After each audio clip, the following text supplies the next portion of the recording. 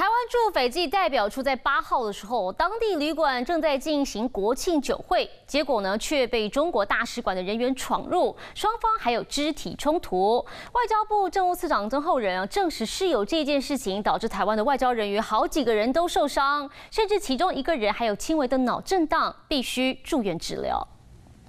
中共的呃外交官，啊，他先是在那边四处张望，然后离开了之后，又很快的又回到这个现场，然后呢，在外面大声的叫嚣，然后呃要几乎是要破门而入，要要强行进入，有一些这个肉体上的接触啊冲突。老实说，这这还很少见啊，是不是代表呃普遍的行为或是一个单一的事件？我们还在观察当中。